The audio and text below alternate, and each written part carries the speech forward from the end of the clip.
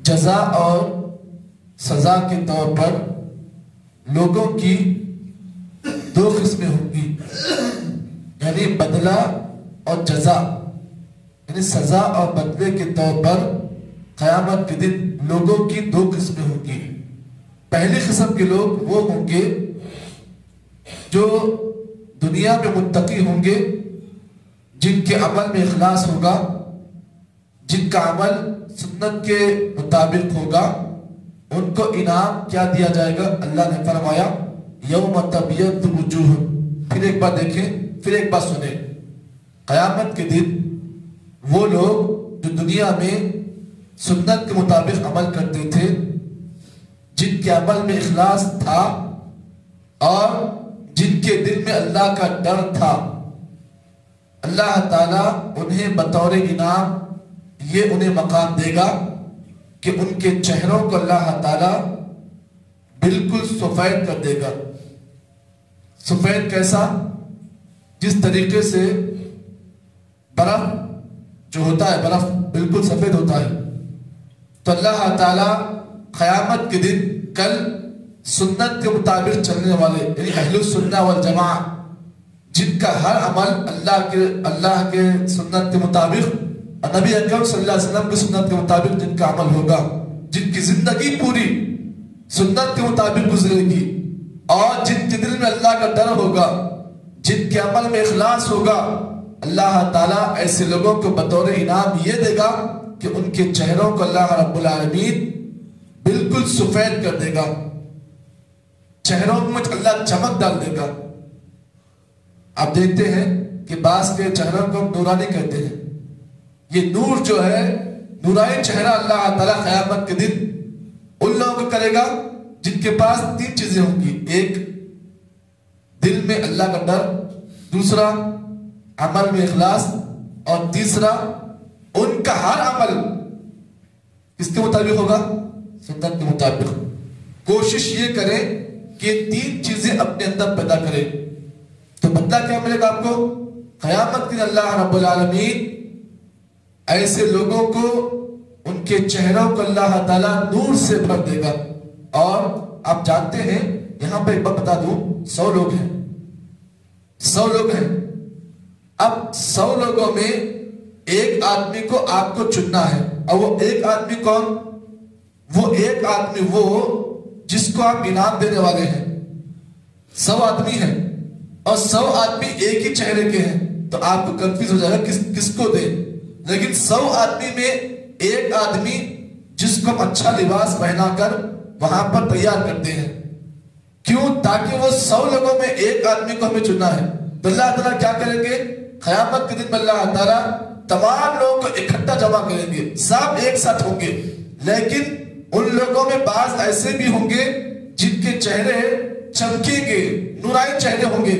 इनको देख कर अल्लाह ताला ये बात जान लेगा, ये मेरे वो बंदे थे जो दुनिया में अमल करते थे, इखलास के साथ करते थे, जिनके दिल में मेरा डर, मेरा खौफ कूट कूट कर भर गया, भर दिया गया था। और ये मेरे वो बंदे थे दुनिया में मेरे नबी मोहम्मद सल्लल्लाहु के सुन्नत के मुताबिक अमल करते थे। अल्लाह ताला जान लेगा, उनके चेहरों पर चमक खुद ब खुद आएगी। जी ऑटोमेटिकली आएगी वो चमक। इसीलिए कोशिश ये करें। अल्लाह ने फरमाया के दिन बाद लोगों के चेहरे नूर से चमकेंगे। अब ये तो कौन होंगे? मैंने बता दिया। आगे अल्लाह ने फरमाया व तस्वद वजूह बाद लोग ऐसे होंगे जिनके चेहरे ऑटोमेटिकली खुद ब खुद उनके चेहरे काले हो जाएँगे। जी, दुनिया में कालापन हमारे पास भी है। चेहरों में बास काले हैं, बास गोरे हैं। लेकिन वहाँ पर चेहरे जो है, खुद ब खुद ऑटोमेटिक काले हो जाएँगे। यहाँ पर गोरे होंगे। यहाँ पर वो लोग गोरे होंगे। लेकिन कयामत के दिन उनके चेहरों पर ऑटोमेटिकली कालापन आ जाएगा। ये क्यों होगा? अल्लाह रब्बुल आलमीन ने कुरान मजीद के अंदर और बेशुमार आयतों में अल्लाह रब्बुल आलमीन ने इसकी वजाहत की और कहा कि ऐसे लोगों का ये अजाब होगा कि जो लोग दुनिया में ना अमल इखलास से करते थे, ना उनके दिल में अल्लाह का डर था, ना उनका अमल सुन्नत के मुताबिक था तो उन्हें बतौर सजा ये ये चीज़ दी जाएगी कि अल्लाह ताला उनके चेहरों में अल्लाह ताला कालापन अल्लाह ताला डाल देगा जिससे अल्लाह को ये मालूम हो जाएगा कि वो लोग हैं जो दुनिया में अमल में इखलास नहीं करते थे और जिनके अंदर तखवा नहीं था अल्लाह को मालूम हो जाएगा ये ये वो लोग हैं। उसके बाद अल्लाह ने फरमाया अब अल्लाह के फरिश्ते जो होंगे उनका बिहेवियर उनका बिहेवियर किसके साथ? जिनके चेहरे काले, काले होंगे उनके साथ फरिश्तों का बिहेवियर क्या होगा? आइए अल्लाह फरमाते हैं रहे वो लोग जिनके चेहरे काले पड़ जाएँगे, फरिश्ते उनसे इस अंदाज से पेश आएँगे। कहेंगे अकफर तुम बाद ईमान तुम वो लोग हो जिन्होंने ईमान के बाद कुफ्र किया।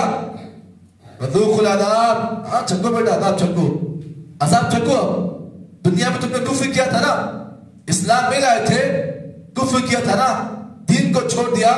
अब चको सजा चको बीमा कुन तुम तक तुम्हें जो आज अजाब दिया गया है ना, तुम्हारे चेहरे पर जो कालापन आया हुआ है ना, तुम्हारे उन आमाल की सजा है जो तुम दुनिया में जी किया करते थे। पता ये चला कि जिस तरीके से दुनिया में अगर कोई आदमी अपने मालिक की बात नहीं सुनता है जिसके हाथ के नीचे काम करता है, और अगर वो मालिक आपसे नाराज़ है, या फिर आपसे गुस्से में है तो किस अंदाज के साथ पेश आता है, आप जानते हैं।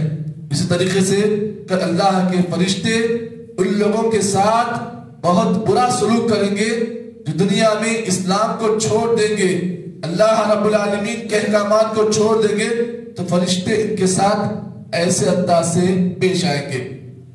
अब यहाँ पर आज के दर्श में मैं आपके सामने इन, इस आयत के मुताबिक अल्लाह के रसूल की हदीस आपके सामने पेश करूँगा।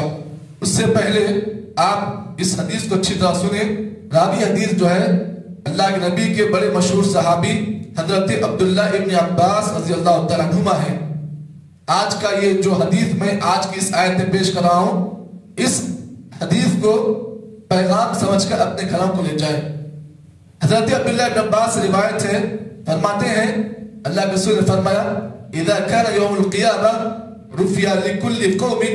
यअबुदूना जब कयामत दिन होगा तो अल्लाह रब्बुल आलमीन हर एक कौम के सामने उनके माबूदों को पेश करेंगे। मालूम यह हुआ कि दुनिया में हम अल्लाह को छोड़कर किसी और को अपना माबूद बना ले तो कयामत के अल्लाह ताला क्या करेगा? जिनकी हम अल्लाह को छोड़कर इबादत करते थे सब सब सामने आ जाएँगे। पूरे माबूद सब सब सामने आ जाएँगे। अब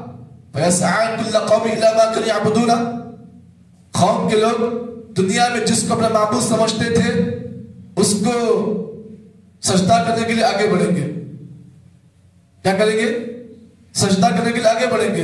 अचानक क्या होगा? अचानक सजदे के लिए आगे बढ़ेंगे। क्या होगा? जो माबूद सामने लाया जाएगा, गायब हो जाएगा। तो ये क्या हो गया? सजदा करना है, गायब हो गया।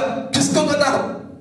ऑटोमेटिक आएगा, जो माबूद जिसकी तुम इबादत करते थे, अल्लाह ऑटोमेटिक लाएगा।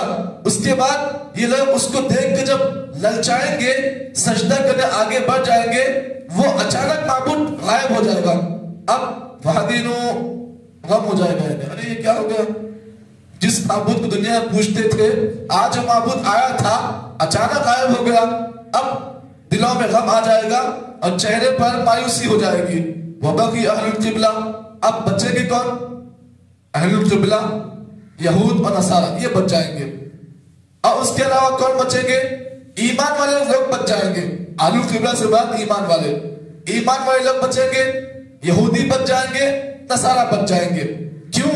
इसलिए कि उनका कोई माबूद नहीं था था तो सिर्फ़ एक, वो कौन? अल्लाह रब्बुल आलमीन। अब क्या होगा देखिए। अल्लाह ताला उनके सामने आएगा। कितना बड़ा मकाम है देखो, अल्लाह ताला खुद बहुत उनके सामने आएगा। फयसजुदु लहु मन कान यसजुदु फिद दुनिया। अल्लाह ताला के सामने जो लोग दुनिया में अल्लाह के सामने सजदा करते थे, वो अल्लाह ताला को देखेंगे। रब का दीदार अपने आँखों के आँखों के सामने करेंगे। और देखने के बाद अल्लाह क्या क्या करेंगे वो लोग? अल्लाह के सामने सजदा करेंगे। उसके बाद नबी सल्लल्लाहु फरमाया रुऊसहुम अल्लाह ताला तमाम के चेहरों पर अल्लाह ताला नूर को फैलाएगा। तो वो मंजर अल्लाह ताला हम से हर एक को दे। ये मंजर लाने की कोशिश करे भाई लोग। इस मंजर के लिए अल्लाह दुआएँ करे, क्योंकि जब अल्लाह ताला को कोई इंसान अपनी आँखों के सामने देखे बिना खुशी का कोई मकान नहीं रहेगा। खुशी का कोई मकान नहीं रहेगा। अल्लाह के सामने, अल्लाह ताला हमारे सामने आएगा। हम अल्लाह को सजदा करेंगे और अल्लाह ताला अहले ईमान के चेहरों पर अल्लाह ऐसा नूर डालेगा जिस तरीके से सफ़ेद बर्फ़ होता है, अल्लाह उससे ज़्यादा अहले ईमान के अल्लाह ताला चेहरा को चमकाएँगे। अब यहाँ पर जो लोग मुनाफिकीन होंगे, जो काफिरीन होंगे, जो अल्लाह ताला की इबादत नहीं करते थे, वो लोग कहेंगे, अल्लाह सजा हमें क्यों दिया? हमने ऐसा कौन सा गुनाह किया? अल्लाह तला फरमाएँगे, तुमने गुनाह ये किया कि तुमने हमारी इबादत को दुनिया में नहीं किया।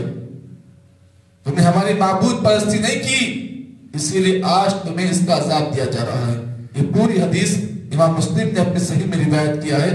पता ये चला, इस आयत के तहत अल्लाह के नबी की बेशुमार हदीतें हैं।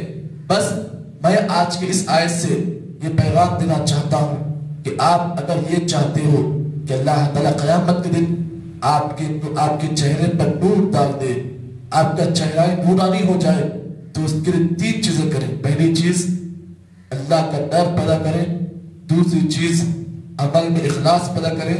और तीसरी चीज़, कोई भी अमल हो, चाहे छोटा अमल हो या बड़ा अमल हो सुन्नत के मुताबिक करें। नबी का जो तरीका है, उसी के मुताबिक अगर आप अमल करेंगे तो बंदा आपको ये मिलेगा, अल्लाह कयामत आपके चेहरों को नूरानी कर देगा। ये अल्लाह ने इस आयत में पैगाम दिया है। अल्लाह दुआ करते हैं कि अल्लाह रब्बुल आलमीन मुझको और आपको इन आयतों में जो जो बातें बताई गई, सबसे पहले मुझे बाद आप तमाम को इस पर अमल की तौफीक अता फरमाए। सुभान अल्लाह